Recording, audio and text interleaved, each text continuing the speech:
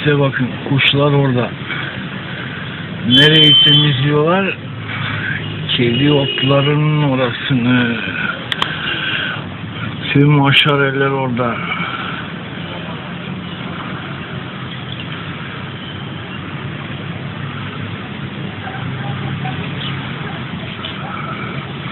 Nerede protein arıyorlar?